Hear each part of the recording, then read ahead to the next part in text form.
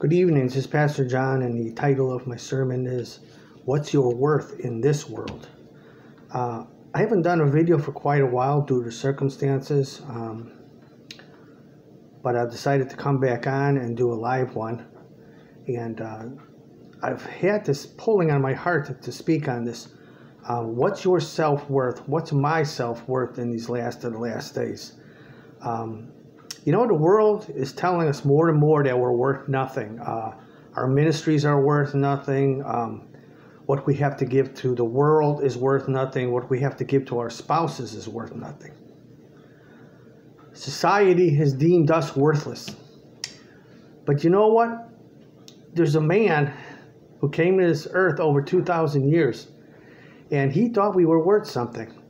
I was going over a bunch of uh, Bible verses and stuff I could share with you about this your self worth, my self worth. And, um, you know, you are fearfully, wonder, wonderfully made, um, you know, all different kinds. And then it came to me the greatest verse to talk about your self worth. John 3:16 For God so loved the world that he sent his one and only son that whosoever lives and believes in him shall not perish, but have everlasting life. God sent his Son, his one and only Son, into this world not to condemn the world or to condemn us, but that we may be saved through him. Greater love hath no man than this, that he lays down his life for a friend.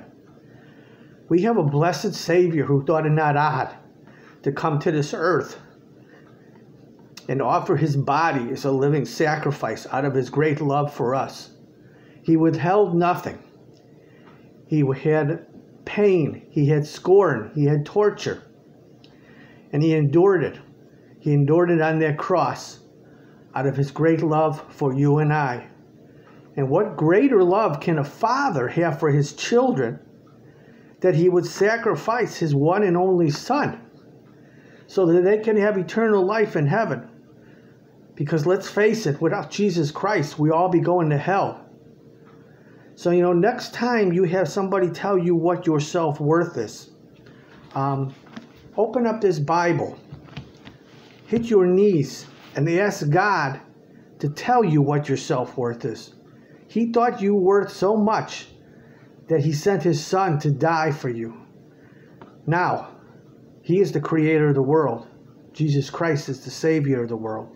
If those two people thought enough of you, thought enough of me to do what they did for us, who cares what this world thinks of us? Who cares what this world judges us as? We know where this world is going, and we know where the God of this world, Satan, is going to end up. And in these last days, he is hitting harder and harder than ever to tear us away from our faith, to tear us away from what we believe in, what we trust in. But I don't know about you. My hope is in you, dear Christ. Show me the way. Guide me to your truths all of my days, and I will walk in your footsteps all the way to heaven. This is Pastor John checking out saying, Peace, love, and joy I give you. And remember, you're worth more than spare change. You're worth so much more.